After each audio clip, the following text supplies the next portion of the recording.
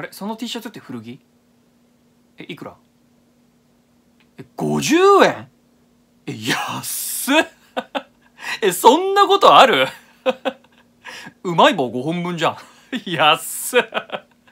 え待ってでもさでもさ実際うまい棒5本買えたらまあまあ楽しめるよね。えじゃない？だってまず普通にサラダ味とかチーズ味いくじゃん。でコーンポタージュいくでしょ？で明太味もいける。あたこ焼きもいけるわ。あ一食分になる一食分になる。むしろちょっと豪華。